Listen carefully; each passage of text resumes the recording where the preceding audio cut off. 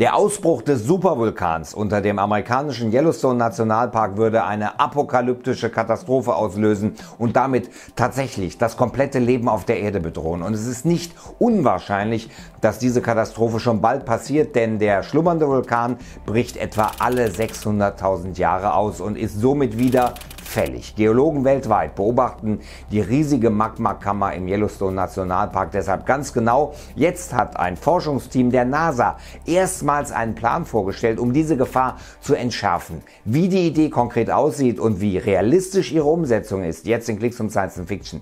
Herzlich willkommen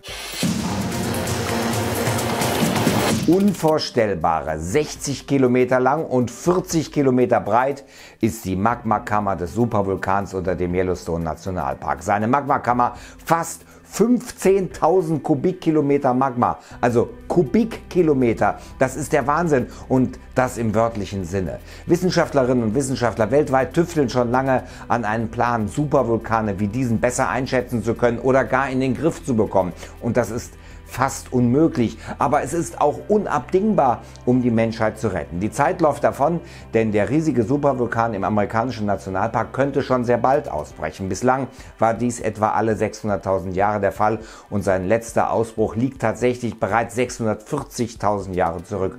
Und die Gefahr, die von diesem Supervulkan ausgeht, ist tatsächlich allen bewusst. Der NASA-Mitarbeiter Brian Wilcox beispielsweise hat erst vor kurzem festgestellt, dass, Zitat, die Forschung zu Supervulkanen weitaus wichtiger ist, um die Menschheit vor Gefahren zu schützen, als die Entwicklung von Systemen, die Kometen und Asteroiden von der Erde fernzuhalten. Wow! Und selbst da gehen die Astrophysiker ja von einer großen Gefahr aus. Fest steht auf jeden Fall, ein Ausbruch würde eine Katastrophe für das komplette Leben auf der Erde bedeuten. Die Sonne würde von den Aschewolken so sehr verdunkelt werden, dass die Ernten in vielen Regionen der Welt ausfallen würden. 74 Tage lang würden uns die weltweiten Nahrungsvorräte wohl überleben lassen. Danach würde wohl ein Großteil der Menschen verhungern. Ein katastrophales Szenario, das die NASA unbedingt verhindern will. Ein Forschungsteam der Welt Weltraumbehörde hat jetzt einen konkreten Plan ausgearbeitet, um den Supervulkan zu entschärfen bzw. einen Ausbruch sogar zu verhindern. Die Idee, den Yellowstone-Vulkan kontinuierlich abkühlen. Schon länger gibt es die Idee, Frischwasser aus den Bergen zu pumpen und dieses in den Vulkan zu leiten.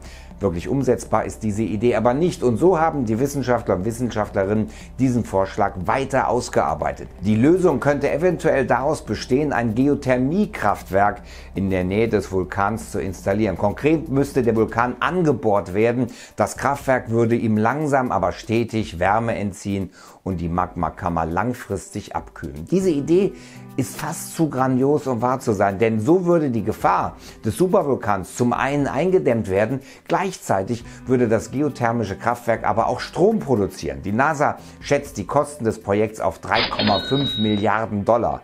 Zehn Kilometer müsste beispielsweise nach unten gebohrt werden, um an 350 Grad heißes Wasser zu gelangen. So ließe sich dann Strom für etwa 10 Cent pro Kilowattstunde herstellen. Falls das Projekt erfolgreich wäre, könnte die Region um den Vulkan wohl mehrere hundert Jahre mit Strom versorgt werden für mehrere hundert Jahre. Wie hammer ist das denn?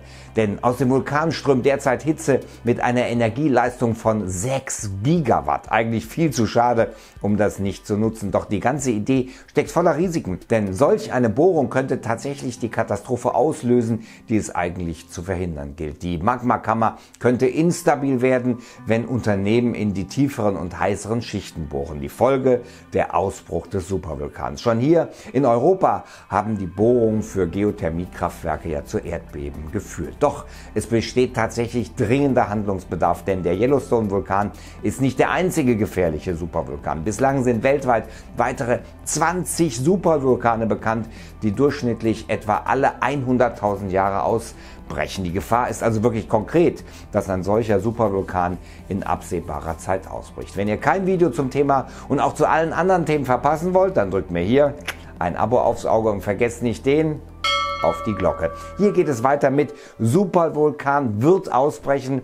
Ja, da gibt es noch mal mehr Infos zur Gefahr durch Supervulkane, also nicht verpassen und drauffliegen. Aber Achtung, das ist nichts für Ängstliche. Und ansonsten, bis dann. Bleibt dran.